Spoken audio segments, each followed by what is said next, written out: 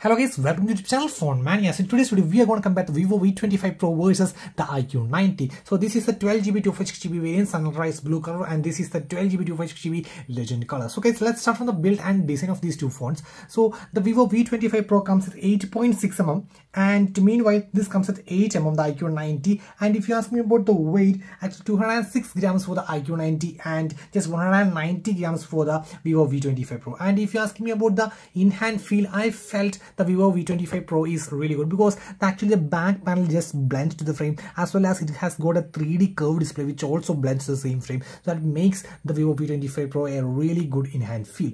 But the thing is the protection of the Vivo V25 Pro is not mentioned. While the iQOO 9T is getting Corning Gorillaz 5 protection over here so guys if you ask me which one is best in terms of the curved display I like the Vivo V25 Pro and in terms of the protection scenarios I, would go for the uh, iQOO 9T because of the CG5 and all.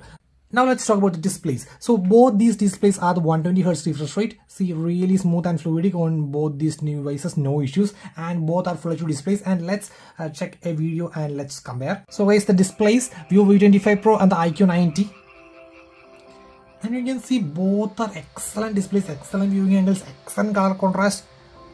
At a glance i couldn't tell a difference between both these displays. So you can see the red color is a bit more deeper over here I think so.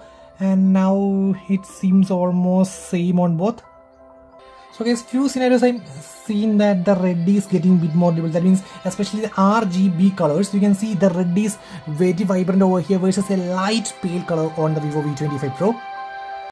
So guys almost a 70 to 80 percent of scenarios both are almost the same but in slight uh, situations the iQOO 9T performs slightly better. That means in terms of the color contrast iQOO 9T is slightly better.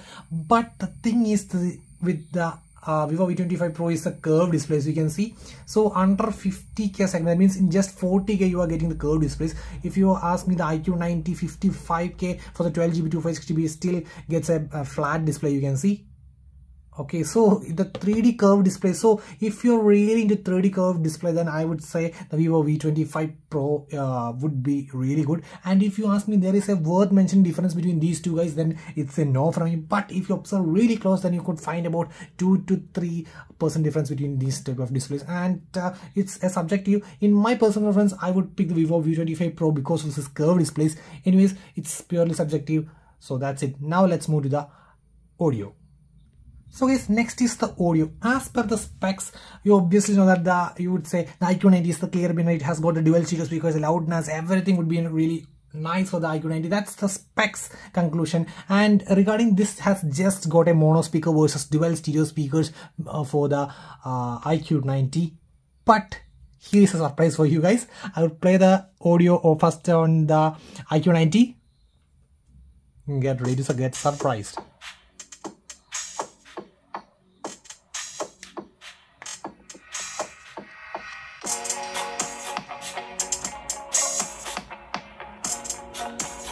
Now Vivo V25 Pro.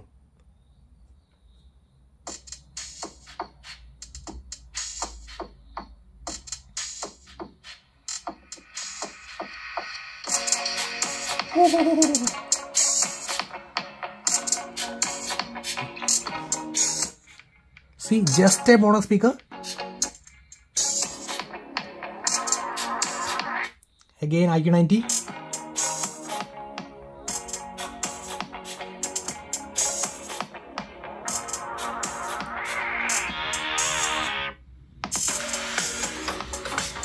iQOO 9T. V25 Pro. Oh.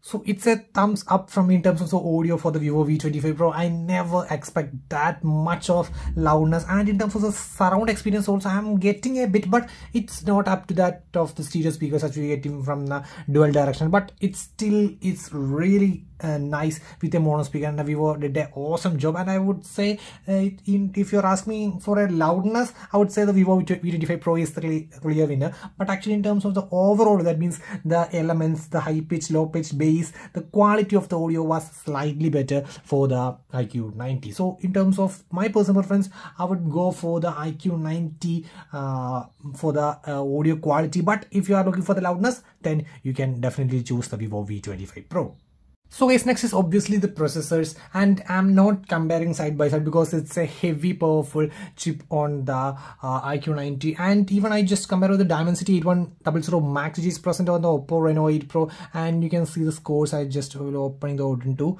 on both of them. And you can see the scores which is uh, approximately 9 lakh 52,000 versus in the Dimensity uh, 8100 Max it was just getting 6 lakh 75,000 so this is Dimensity 1300 with the 6 nanometer uh, over here versus this is having the Dimensity um, 8100 with the 5 nanometer. So anyways that's not a direct comparison in that terms. You can directly for the gamers everything because of gaming triggers and all in terms of performance you can just directly pick the iQOO 9T but if you are looking for an overall nice uh, stable uh, phone then the iQOO 9T uh, occasional gamers and all the um, Vivo V25 Pro would not be having any issues. It has got the bionic cooling 40 game vibration everything it has also but in comparison it's a clear win clear win for the iQOO 9T now let's look at the main thing that's the cameras. So if you ask me the main camera is 64 MB OIS camera. Then we are just getting 8 MB ultra wide and just a 2 MB macro. And over here here we are getting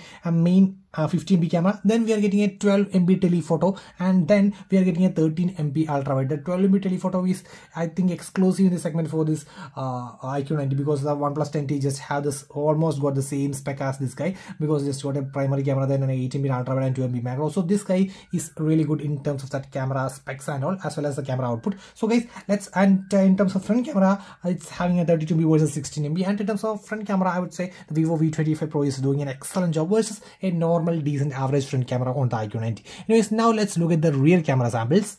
So guys first of all let's start from the ultra wide.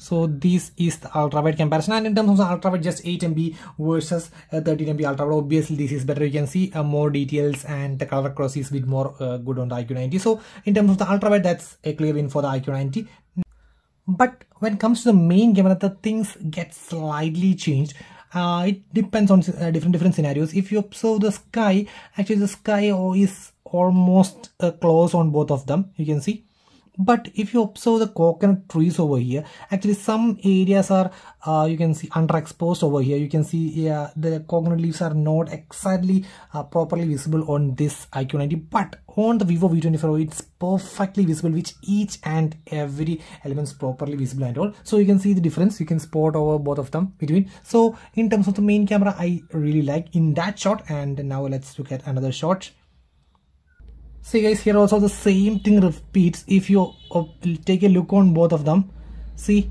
these areas is completely unexposed over here. See but it is properly visible proper visible with uh, a really good amount of quality on the vivo v25 Pro. so that was surprising. Actually i do take multiple samples to verify the scenarios. And actually with the 1x i took multiple samples and all the scenarios uh, seem to be in the same conclusion itself. And another shot so you can see exactly the same scenario. It's perfect on the vivo v25 pro versus a might light issue for the uh, icon. And i won't mention this as an issue because it's obviously a struggling situation because the lights comes directly from the uh, top and actually it's a bit struggling situation but surely because of software updates it would be getting improved. But at this current time the vivo v25 pro is uh, doing a great job. And uh, the main thing i think something is going on with the after processing because at the initial glance that i uh, took picture with just and actually before processing actually the image is really bad even worse than this. But after the processing it's get really good on the vivo v25 pro. Anyways thanks to dimensity 1200 it has done a great job. And let's look at a few more samples.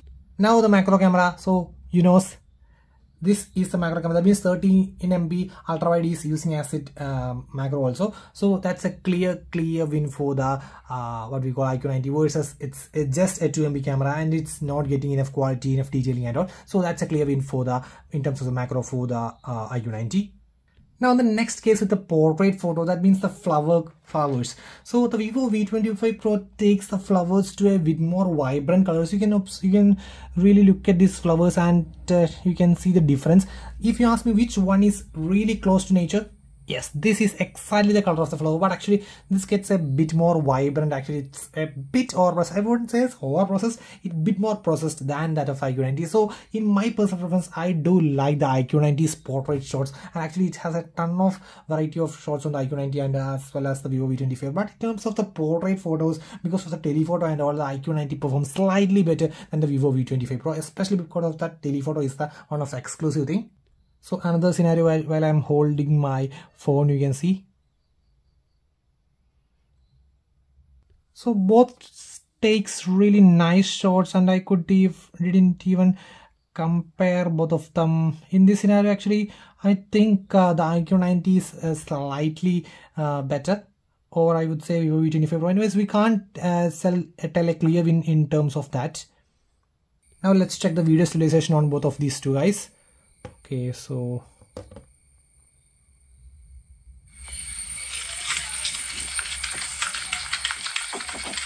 so the iQOO 9T was definitely a winner in terms of the video stabilization. So each and every scenarios is uh, one one win for the Vivo V25 Pro one win for the iQOO 9T so in conclusive I would say uh, the normal 1x shots I felt it's slightly better on the Vivo V25 Pro. Apart from that almost all the scenarios were slightly better on the Vivo iQOO 9T see one more shot and this shot against now that means its scenarios are switching in between. As we already seen that flower uh, thing and I, I, I was saying that the Vivo V25 Pro uh, turns the color to be really vibrant but the iQOO 9T uh, takes the exact color in the portrait one but that's not in the case with the normal photos. Actually normal photos V25 Pro takes the natural colors and the Vivo V25 Pro takes to the next level. You can see the color sharpness and actually but the color sharpness it's getting digital and really beautiful on the iQOO 9T so overall I would say uh, if you're really into front cameras